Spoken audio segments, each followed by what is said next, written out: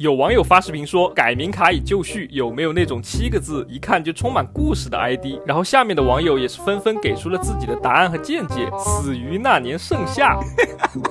既伤感又文艺，不愧是好名字。下一位，全家就剩我一个，虽然一个字没提，但一看就充满了故事。最后一个更离谱啊，有故事且七个字。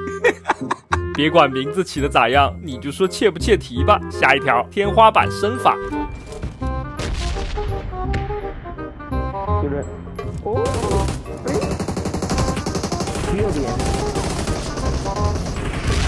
看完就有网友惊叹道：“哥们儿，你这是耳机戴反了吗？预判跳车，莫名其妙的攻击队友，拉枪失误接闪现吃轰炸，有考虑过打职业吗？”